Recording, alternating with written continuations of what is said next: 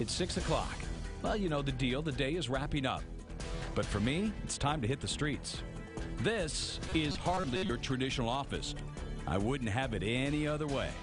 You just never know what the night will bring.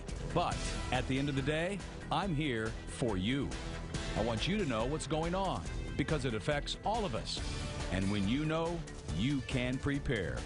These are real stories. And on Channel 7, it's real action for you.